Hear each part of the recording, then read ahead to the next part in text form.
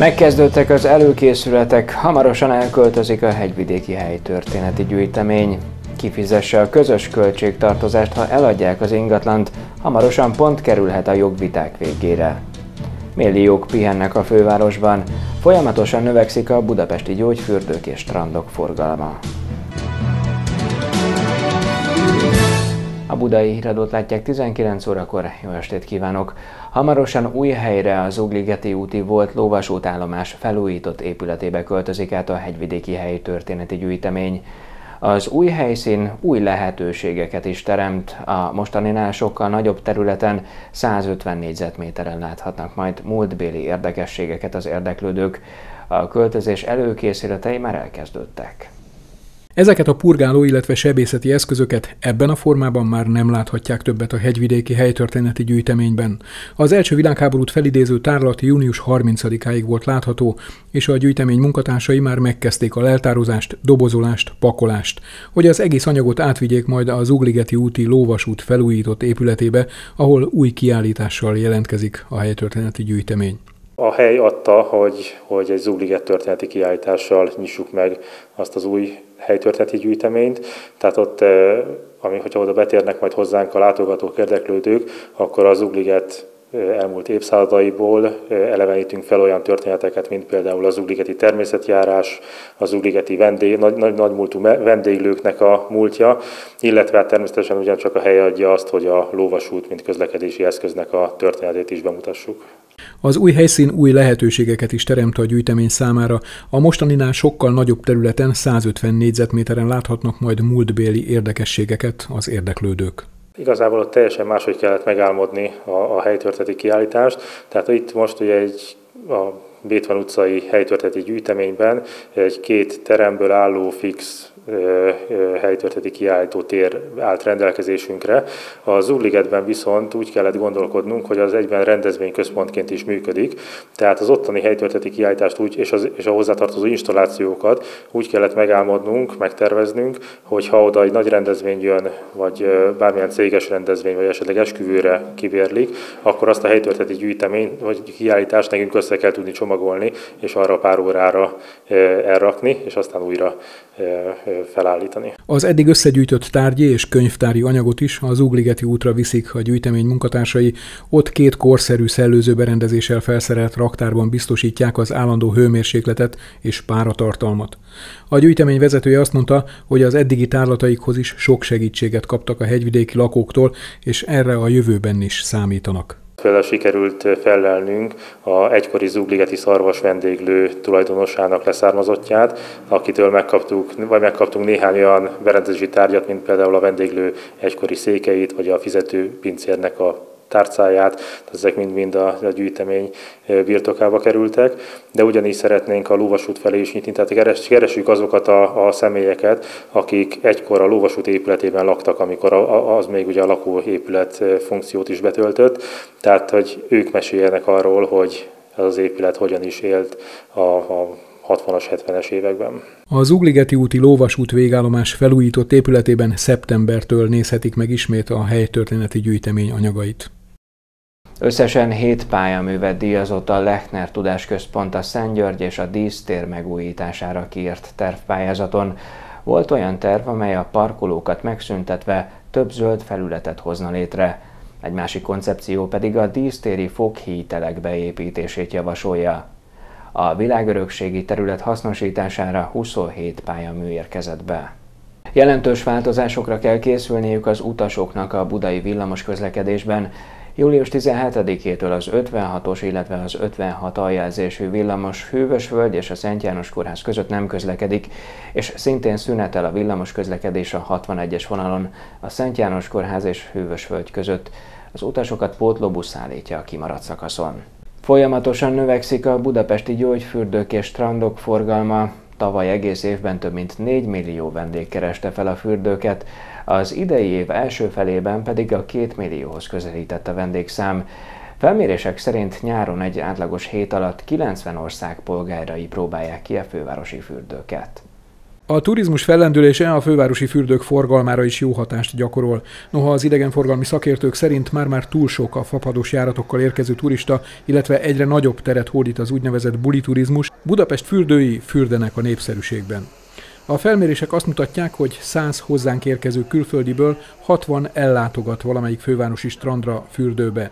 Az elmúlt öt esztendőben 1 millióval növekedett a látogatószám, most évente mintegy 4 millió fürdővendég mártózik meg gyógyító, frissítő vizeinkben. A forgalom további növelése még színesebb szolgáltatásokkal és felújított fürdőkkel lehetséges a szakértők szerint. Éppen ezért néhány éve jelentős rekonstrukciós programot kezdett a fenntartó, és idén is több fürdő újul meg. Az idei évünk nagy fejlesztés az a Palatinus strandnak a fejlesztése, a téliesítése. Ugye tavalyi évben a Paskál fürdőnek az állandóan nyitva tartó részlegét adtuk át, ami azt kell mondjam, hogy nagyon-nagyon jól sikerült, nagyon szeretik a vendégek. Olyannyira, hogy a Paskál fürdőt idén még tovább fejlesztettük. A Margit szigetre a Palatinusra látogatók várhatóan július közepén vehetik birtokba az új fürdőt, pontosabban strandot, hiszen most már fedett medencék is lesznek. Innentől kezdve télen-nyáron minden nap nyitva lesz a Palatinus is. Ugye az eddig is a Budapest egyik legrégebbi strandjáról, egy gyönyörű strandról beszélünk, így az építkezés alatt is az folyamatosan látogatható volt, illetve látogatható, de ezáltal az a szép műemlék Bauhaus épületet is átalakítottuk, teljesen felújítottuk, és az úgynevezett északi részében egy állandó fürdő fog üzemelni, élménymedencével, gyerekmedencével, szaunákkal, öltözőhelyiségekkel. Az ennek a beszélgetésnek is szép hátteret adó Széchenyi fürdőbe is jelentős modernizálás folyik, alig észrevehetően. Idén fejeztük be ennek a fürdőnek is egy nagyon-nagyon komoly korszerűsítését, ami ugyan a technikai részeket, tehát a csővezetékrendszert érintette, de bizony több mint két milliárd forint volt ez a fejlesztés, és folyamatosan vannak olyan területek, amiket újítunk fel, most például az egyik benti termálmedence rész újul meg, folyamatosan újítjuk meg a szaunákat, tehát mindegyik szaunát próbálunk más-más jelleggel megtölteni. Most már itt sóaromás szaunától van geotermikus szaunáig, ami azt jelenti, hogy magával a termál víznek az erejével készítjük vagy állítjuk elő a gőzt, tehát nem kell semmilyen plusz energiaforrás meg használnunk, és hát ebből a 76 fokos párolgó vízből még meg is tudjuk lélegezni a gyógyító erőt. A 21 medencés és több mint 10 szaunával rendelkező Széchenyi felújítása is része annak a programnak, amelynek keretében a Budapest alatt található 118 forrásra saját forrásból évente 5-6 milliárdot költ a fenntartó. Nyár végéig több mint ezer véradást szervez országszerte a Magyar Vöröskereszt és az Országos Vérellátó Szolgálat. Elsősorban a Balaton környékén és a fesztiválokon várják majd a véradókat. Nyaranta csökken a véradások száma a szabadságulások és a nyaralások miatt, pedig a műtétekhez, a baleseti sérültek ellátásához, a vérkészítményekre, transfúzióra szoruló betegek kezeléséhez a nyári szezonban is szükség van vérre. A véradások helyszínei és időpontjai a www.véradás.hu weboldalon megtalálhatók. Már teszteli a felújított metrókocsikat a BKV. A cég közölte, az elmúlt időszakban több beszámoló szerint a felújított metrókocsik ajtaja a peron másik oldalán nyílt ki. Ez azonban csak tesztelés alatt álló jármű volt, ami utasokat nem szállított. Az ajtókat pedig biztonsági okokból nyitják ki a peronnal ellentétes oldalon. A felújított metrószerelvények a hatósági engedélyek kiadása után állhatnak vissza a forgalomba. A közös költség hátralék nullás igazolásához kötnie a kúria a társasházi ingatlanok adásvételének földhivatali bejegyzését. A társasházi törvény sok korábbi jogvitát tisztáz, de vannak olyan esetek, amelyekben eltérő bírósági ítéletek születnek. Ilyen a társasházi lakások eladása kapcsán az a kérdés, hogy az eladó által felhalmozott közös költség, illetve rezsihátralék kiterhel az eladót vagy a vevőt. A közelmúltban azért hívták össze a kúria joggyakorlatelemző csoportját, mert nagyon eltérő álláspontot képviseltek a bíróságok azokban a perekben, amelyek eladó lakásokat terhelő közös költség hátralék kapcsán születtek.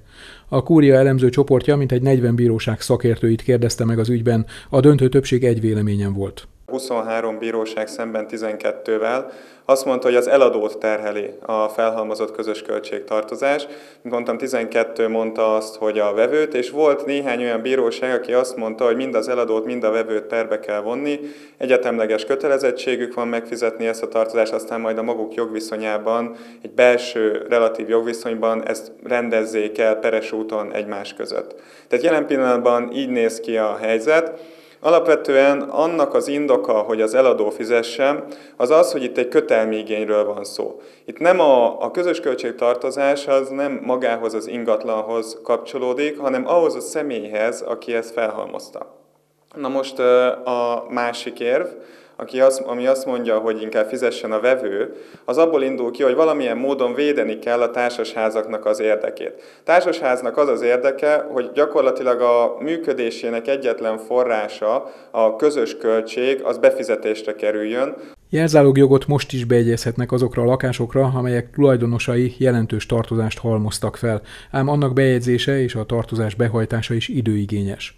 Tovább nő a közös költség behajtásának ideje, ha a ház perli a tulajdonost. Ráadásul ilyen esetekben, ahogy hallották, eltérő ítéletek születtek. Ezt orvosolná a kúria javaslata. Az, amit most a kúria javasolt, az egyébként nem feltétlenül egy rossz megoldás abban az esetben, hogyha ez kizárólag arra az albetétre, arra az ingatlanra vonatkozik a társasházon belül, amely az adásvétel tárgyát képezné. Tehát, hogyha Példának okáért valamely tulajdonostás felhalmozott egy igen nagy összegű közös költségtartozást, és elkívánja adni az ingatlanját, akkor én azt el tudom fogadni, hogy ebben az egy tranzakcióban egy kvázi feltétel legyen a tulajdonjog bejegyzése tekintetében, hogy a közös képviselőnek a nullás igazolását beszerezzék a felek. Nullás igazolás nélkül tehát nem lehetne eladni egy társasházi lakást sem.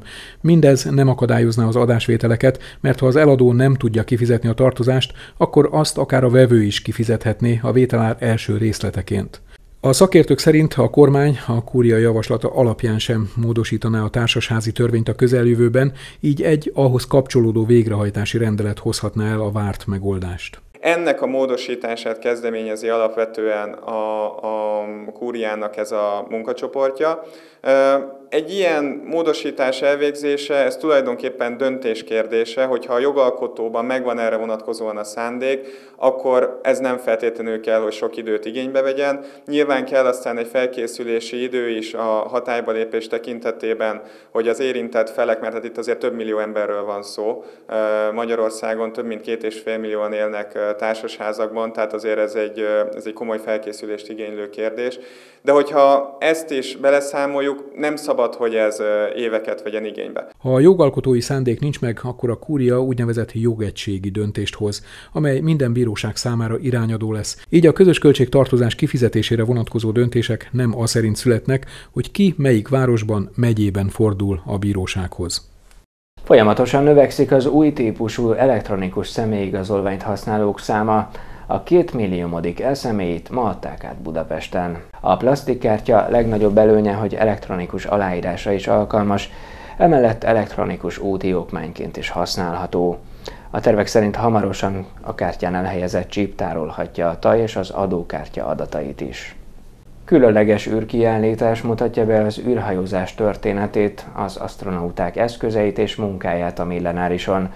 A látogatók magukat is próbára tehetik, így kiderül, hogy alkalmasak lennének-e űrhajósnak. Holdkő, a Soyuz űrhajó irányítóegysége és egy eredeti szkafander is helyet kapott a Millenáris Park új kiállításán, az utazótárlaton nem csak az űrkutatás történetével ismerkedhetnek meg a látogatók, de a bátrabbak azt is kipróbálhatják, milyen az űrhajósok élete. A 3000 négyzetméter nagyon sok, nagyon masszív, nagy replikát és igazi tárgyakat is tartalmaz, be lehet menni egy midőrállomásra, meg lehet nézni, hogy milyen egy holdjáró, vagy akár meg lehet simogatni egy holdkőzetet, vagy esetleg a science fiction irodalomnak a rajongói találkozhatnak egy Star Wars jelmezzel, egy eredeti számozott Darth Vader jelmezzel, úgyhogy azt gondolom, hogy tényleg teljes mértékben, százszázalékosan lefedjük azt, ami az űrutazással kapcsolatban a fantáziánkban, a hollywoodi filmkészítők fantáziájában, vagy akár a gyakorlatban, a valóságban, a történelemben megtörtént velünk. Az űrkiállítás azt is bemutatja, hogyan telnek az űrhajósok hétköznapjai, így például milyen ételeket fogyaszthatnak a világűrben. Ez pedig már az az eszköz, amivel a leendő asztronauták állóképességét tesztelik. Még mindig kapaszkodom. egy kicsit szédültem, nem nagyon bírom az ilyet, de tavaly voltam egy nagyon hasonló szerkezetben, úgyhogy gondoltam, kipróbálom ezt is. Én a tavainál jobbra emlékeztem, lehet, hogy jobb lenne, ha még valaki ülne mellettem, és akkor látnám közben az ő arcát is, hogy nem csak én szenvedek. De egyébként fantasztikus élmény, tehát megéri kipróbálni. Az érdeklődők egyébként számos szimulátoron is tesztelhetik képességeiket. A kiállítás szeptember közepéig lesz nyitva. Adásunkat honlapunkon a www.hegyvidéktv.hu weboldalon is megnézhetik. Köszönöm figyelmüket, viszontlátásra!